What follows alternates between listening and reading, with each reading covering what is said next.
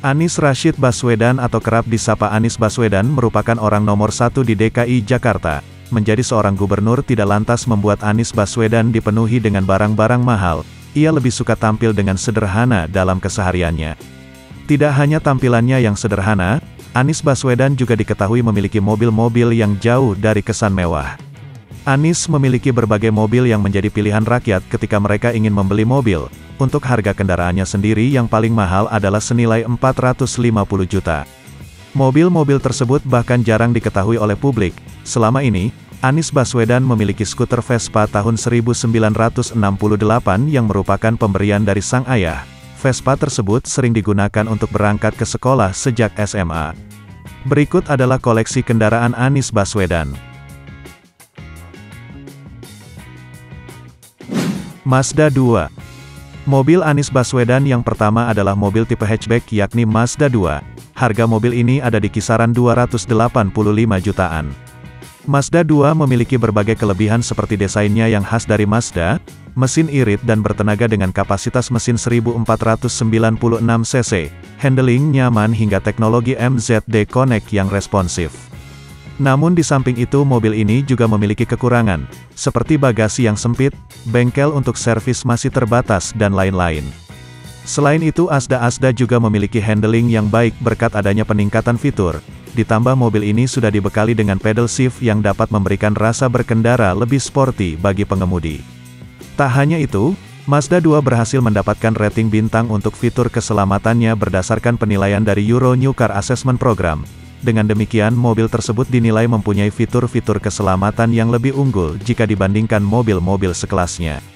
Asda-Asda ditawarkan dalam dua tipe berbeda, yaitu R dan GT, tidak ada perbedaan dari desain eksterior dan interior keduanya kecuali fiturnya. Toyota Kijang Innova Anies Baswedan juga kerap memiliki dan senang menggunakan mobil selera rakyat, yaitu Toyota Kijang Innova Lansiran tahun 2008. Mobil ini memiliki daya muat hingga 8 orang. Untuk harganya sendiri Toyota Kijang Innova Lansiran 2008 tersebut dibanderol dengan harga di kisaran 121 jutaan. Sebagai mobil keluarga Toyota Kijang Innova juga memiliki berbagai kelebihan, seperti konsumsi bahan bakar irit untuk varian diesel, ruang kabin lega, blower AC pada tiap baris, peredaman berkualitas bagus, visibilitas pengemudi baik, nyaman digunakan, fitur lengkap hingga resell value yang kuat. Sementara itu di samping kelebihannya, Toyota Kijang Innova tahun 2008 juga memiliki kekurangan seperti akselerasinya cukup kurang, bonet tidak terlihat, kesulitan manuver dan suspensi yang kurang nyaman. Sudah bukan rahasia jika kenyamanan dan kesenyapan kabin Innova diakui oleh masyarakat Indonesia, ini tercipta dari inovasi panjang pada sistem suspensi. Pada bagian depan Innova menggunakan suspensi double wishbone dengan pegas coil dan stabilizer sedangkan pada bagian belakang menggunakan empat link dengan pegas coil dan lateral rod yang membuat mobil ini nyaman saat melalui berbagai macam kontur jalan. Kemudian saat di dalam kabin baik duduk pada bagian baris kedua atau ketiga tetap merasa nyaman dan lapang. Karena Innova sangat baik dalam desain dan penggunaan bahan sehingga tidak merasa sempit saat diisi 7 hingga 8 penumpang. Toyota Avanza Masih dari Toyota, mobil Anies Baswedan selanjutnya adalah Toyota Avanza keluaran 2013 yang harganya berada di kisaran 112 jutaan. Mobil ini ditenagai oleh mesin berkapasitas 1329 cc yang mampu menghasilkan tenaga hingga 91 horsepower. Kita akan melihat keunggulan model Avanza, desain eksterior yang menarik dan interior yang cukup lengkap merupakan keunggulan yang baik dari mobil ini. Selain itu Totota juga telah melengkapi airbag depan jika diperlukan. Selanjutnya Anda bisa tenang saat memilih membeli mobil ini karena konsumsi bahan bakarnya yang irit, sehingga Anda tidak akan merasa terlalu gugup saat melakukan perjalanan jauh. Selain itu proses perawatan yang mudah dan harga jual kembali yang stabil juga menjadi keunggulan lain yang dimiliki Avanza tahun 2013. Mengenai interior Toyota Avanza tahun 2013, kabinnya terlihat rapi dan luas. Tak hanya itu, Kabinnya menawarkan kenyamanan bagi pengemudi dan penumpang berkat jok yang lebih tebal dan terasa lebih empuk. Namun ruang interior mobil ini memiliki kekurangan yaitu jok baris ketiga memiliki ruang yang sedikit sempit. Mobil ini hanya dapat memuat sekitar tujuh penumpang beserta pengemudinya. Dashboard Toyota Avanza didesain modern dan mewah, beberapa fitur tambahan seperti speaker yang terhubung dengan MP3 player, CD player dan aux in silver juga dilengkapi.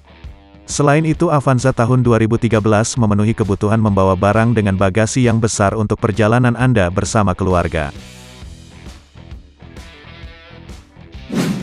Honda Odyssey Mobil yang dimiliki Anies Baswedan selanjutnya adalah Honda Odyssey. Mobil ini dibanderol dengan harga mulai dari 450 jutaan untuk versi lama, sedangkan versi baru tentu punya harga yang lebih mahal. Tampilan mobil tampak cukup berbeda walau masih mempertahankan siluet mirip model pre-facelift. Wajah depannya tak lagi seagresif dulu, cenderung lebih elegan yang justru cukup sejalan dengan konsep kendaraan keluarga kelas atas. Bagian interiornya juga menyimpan beberapa perubahan di sejumlah titik. Sementara itu cradle seat yang dilengkapi otoman di baris kedua dijamin membuatkan betah di dalam kabin. Pengaturannya luar biasa fleksibel dan tentunya nyaman diduduki. Semua lampu sudah menggunakan light emitting diode baik untuk sisi depan maupun belakang kendaraan. Bergeser ke samping, akan melihat pelek dual tone ring 17 inci yang desainnya juga lebih segar. Palangnya dibuat lebih tebal dan jarak antara satu dengan yang lainnya lebih lebar. Selebihnya Honda Sensing pada mobil ini tetap dilengkapi Collision Mitigation Brake System, Road Departure Mitigation System dan Lane Keeping Assist System. Tapi yang membuat mobil ini lebih unggul adalah Smart Parking Assist System alias parkir otomatis. Saat diaktifkan lingkar setir akan bergerak secara otomatis untuk memudahkan parkir paralel atau normal. Kamera multi-angle juga bisa ditemukan pada mobil ini, bukan hanya mengarah ke bagian depan atau belakang kendaraan, tapi cakupannya sampai ke sisi samping bahkan hingga 360 derajat.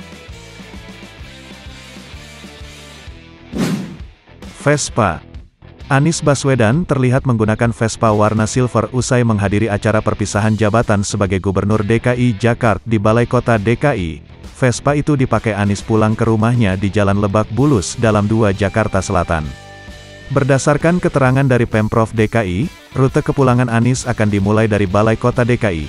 Anis akan melewati Jalan MH Tamrin, kemudian Jalan Jenderal Sudirman, dan belok ke Jalan Sisingamangaraja. Selanjutnya, Anis juga melewati Jalan Panglima Polim, lalu Jalan Fatmawati Raya, dan berhenti di Jalan Lebak Bulus dalam dua di mana itu adalah kediamannya. Vespa Sprint tahun 1968 itu merupakan motor pertama keluarganya. Motor klasik itu juga tercantum dalam laporan harta kekayaan penyelenggara negara dengan taksiran harga 50 juta. Anis pernah menceritakan tentang Vespa miliknya yang diwarisi turun-temurun. Menurut Anis Vespa tersebut dibeli second alias bekas oleh ayahnya pada tahun 1974. Vespa tersebut digunakan sebagai motor harian. Vespa yang masih tampak mulus tersebut kemudian diserahkan ke Anis saat ia menginjak bangku SMA. Olehnya Vespa tersebut sangat disayang dan dirawat secara rutin. Tak hanya memori indah yang diingat Anis dengan keluarganya saat mengendarai motor klasik Italia tersebut. Anis juga selalu teringat dengan situasi dan latar suasana yang berkesan saat ia memacu Vespa di jalanan Yogyakarta. Itulah lima kendaraan Anis Baswedan.